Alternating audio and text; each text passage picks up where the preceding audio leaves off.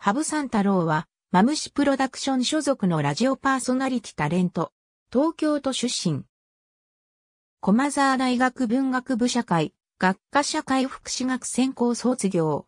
俳優の毒マムシ三田優の弟子。所属事務所のマムシプロダクションでは、社長も務め、また毒マムシ三田優のマネージャーも兼ねる。毒マムシ三田優主催の演芸イベント、マムちゃん寄せではプロデューサーを担当している。師匠、ドクマム指導用読売ジャイアンツのファンである。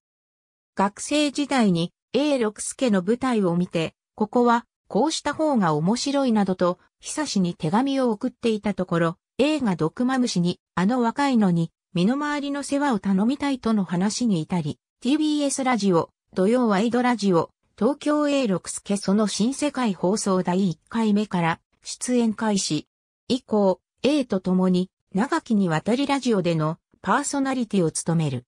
A が逝去した後には、インタビューにおいて、生前の長から日頃通う、いつもの道も横丁を曲がってごらん。違うものが見えてくるからとの金言が最も印象に残っていると語っている。2021年1月より、ラジオトークにてラジオ番組、親父ラジオを配信中。